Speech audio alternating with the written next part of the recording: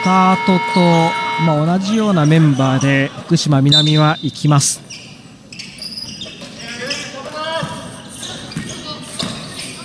そして、えー、近代付属の方も今日のスターターと同じメンバーでスタートしました。後半まず西野に入れました。そこから相和へ、うん、うまく高さのパスになりました。水野。監督の息子さんです。伸ばすパス川野そして最後は郡司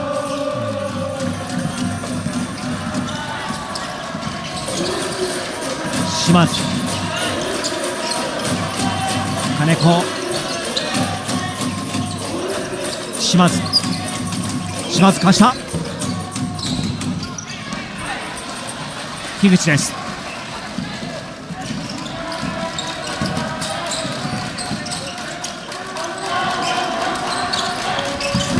川野からもらった半沢和樹、うん、ショットはちょっと短い。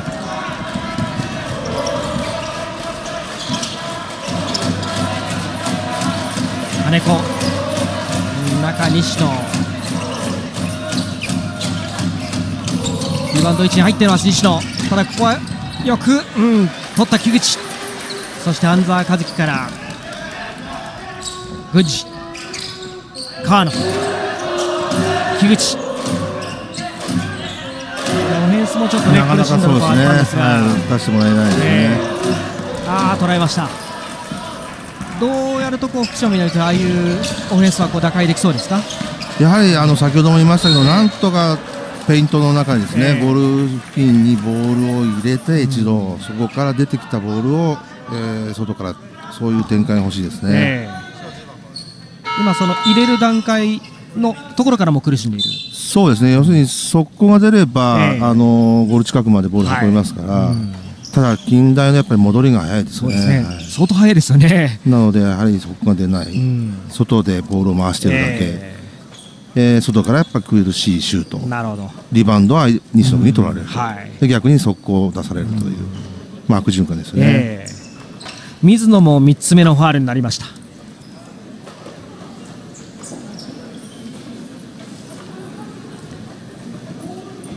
水野コーチが選手たちに指示を与えます。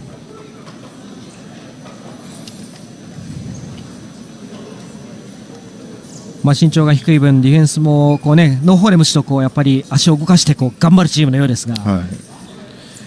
まあ、オフェンスはあとはです、ね、スクリーンを多用して少しでもマークのずれを作ってっていうことでしょうね、えー、試合通じてなかなかノーマークのショットというのは少ないような印象です。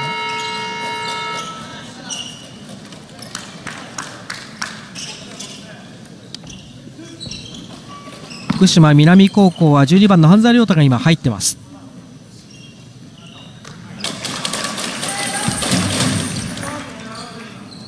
金子龍太のフリースロー。まあ、西野も目立ちますがこの金子もチームの得点源と言われる、まあ、オールラウンダータイプです。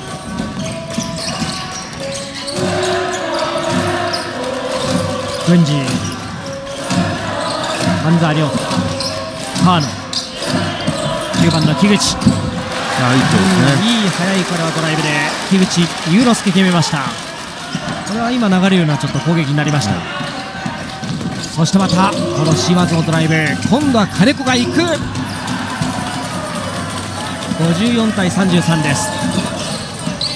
52対33です。もう一度いいオフェンスを出したい。福島南高校樋口。樋口。戻してのパスで。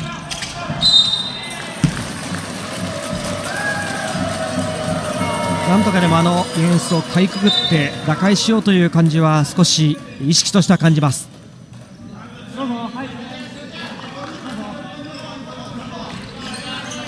今16番の渡辺武が入ってきた福島南高校。1年生。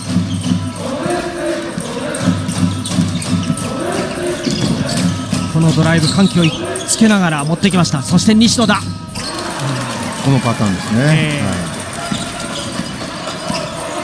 い、島津君がドライブで、そして西野君に合わせる、えーうんこれは2人で行きましたがファールを捉えました。今西野のようです。これが2回目のファールになりました。西野ようです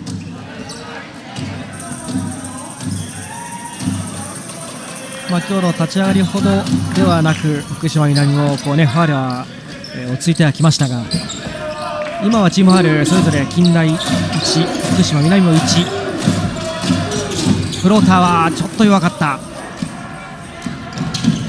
金子。とにかくボールの運び方金子にしましても島津にしても相当な速さがあります。ブロック。水戸。島津。島津。このリバウンドボール水戸水戸自分で相手切れませんでした。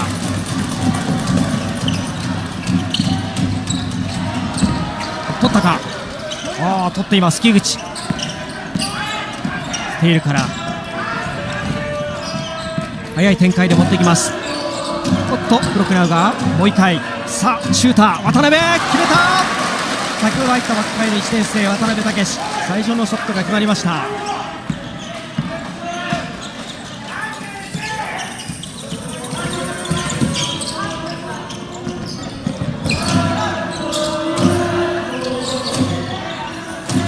今度はロングレンジを打ってきました金子。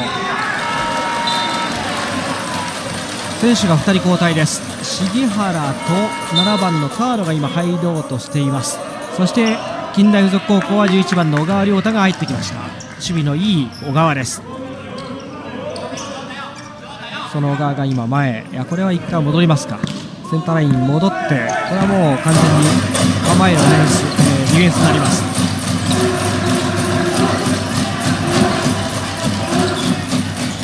スリーだ。コーナーから。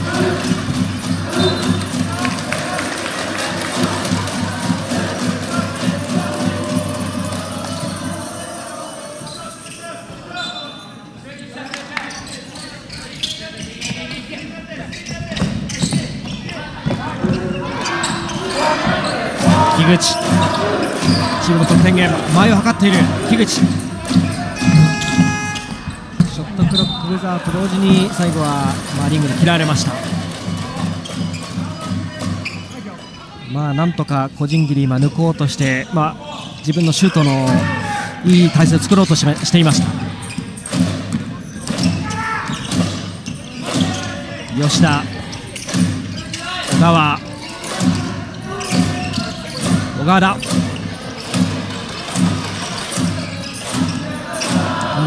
こは。守っていってあーリバウンドは。ボールは福島南ボール。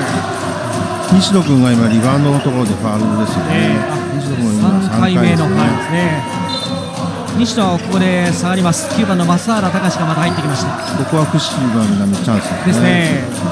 2クォーターの、まあ、あの時は治療で西野がいませんでしたがここは今ファールトラブルがちょっと起きまして西野が下がっています。この間にリズムよくいけるか。点差をぐっと縮められれば面白い。水野外から打ってくる。上川。あ失礼、えー木口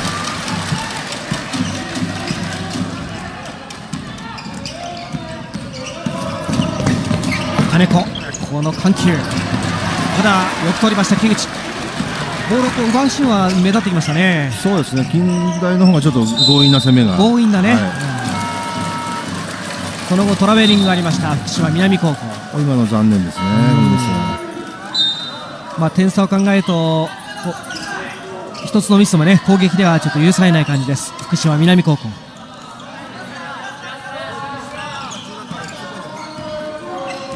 島津です。ゆっくりしたところからスタート。増原島津バーンズパス。もう一回入れた。バックドア。うん野川決めきれず。これを取った。また福島南チャンス。入っていく重原。フォローしているぞ。もう一つ。ワンフェイクから。決めた。樋口。さあここでチームのポイントゲッター。真骨頂を見せてくる。これディフェンスもう一本頑張りたいですですね。ね14点差縮まってきました。これでまた1回差が開いたんですがハーフタイム時の点差に戻します。これ板にも戻してきました。さあ速い展開。だいぶ左から右へ速い展開。持ち味出てくる。ここから抜けた。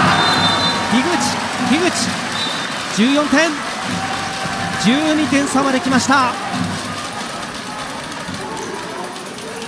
やー大きいですね。そうですね。今のも近近代の金子君ですか？えちょっと強引なプレーでえはい。相手にシュートをブロックされましたね。それが速攻につながりましたよね、近代付属高校がタイムアウト。これでも点差をあの考えたら近代付属はもうちょっと落ち着いてできるのかなと思ったりもするんですけれどもね。そうですね。やはりこう西野君がベンチ下がったっていうのがやっぱり大きいですよねええまあこの西野が今ベンチに下がった時間をこうしっかりと有効利用できましたね。そしてなんといっても木口がちょっと転換し始めたんじゃないですか、はい。ねいい形で彼のところにボールがいってますよね、うん。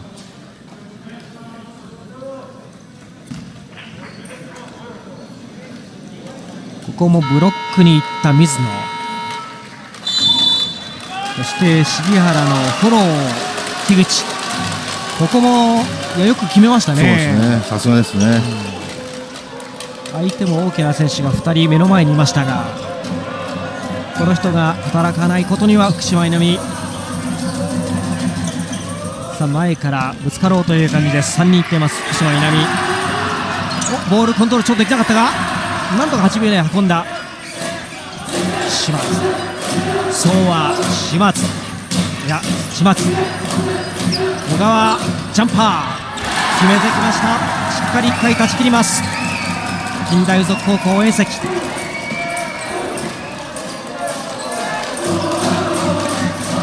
れはセットでのオフェンスになります、うん、相手のファール。半沢亮太が仕掛けていきました。ファール3回目という今報告です。相和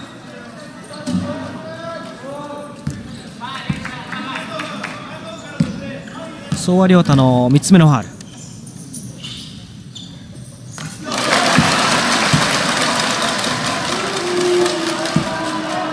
半沢亮太決めました。そしてもう1投。12点差。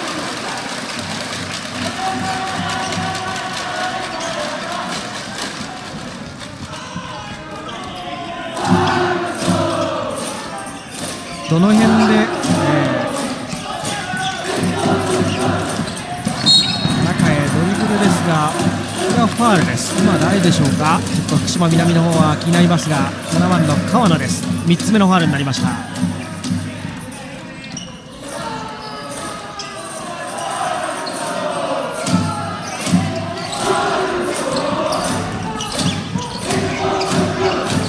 今ビッグマン相和が中。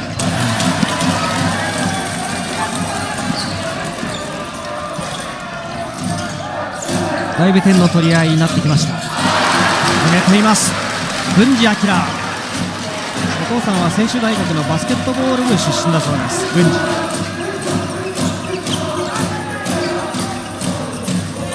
司。島津。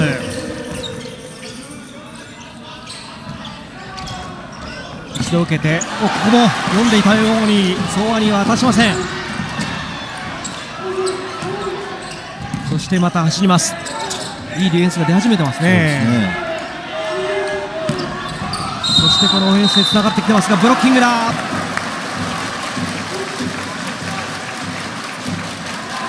点差が徐々に徐々に縮まってきています。そしてここで西野を戻します。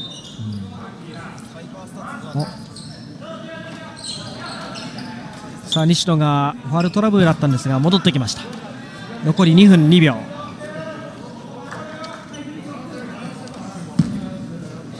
木口のフリースローです。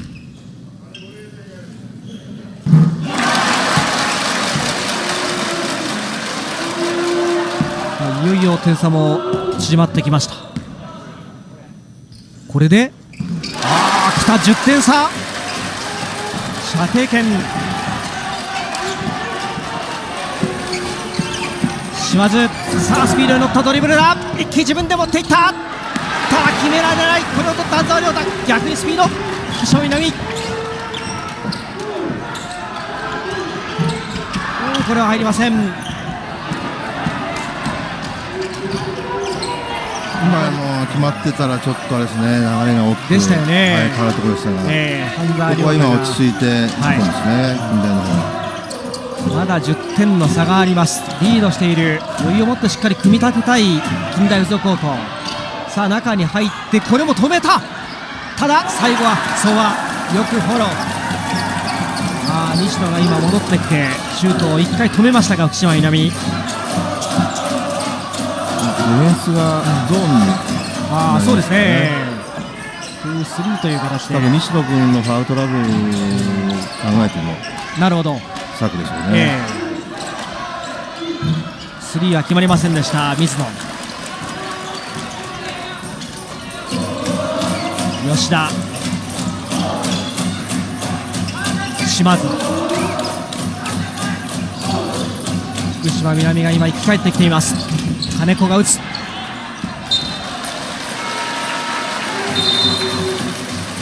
あと相手にセカンドチャンスを与えなくなりましたよね。そうですね。4番の杉原が入ってきました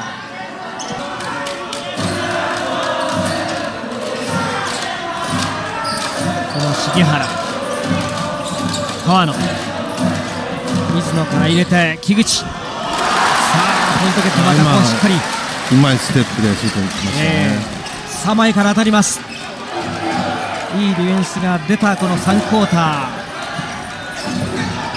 ー。オスがこれはファウルなし。島津。島津に対しても重原マーク。重原がよく見ている。入るか？ジャンパー決めましたプラップジャンパー。島津。ここで今前半終了、えー、せ第3クォーター終了になりました。62対50です。いやーそれにしましてもよく差を縮めてきましたそうねですね。1と20点ぐらいの差に広がったこの試合ですが、えー、一旦はまあ10点差にまで縮め今12点差です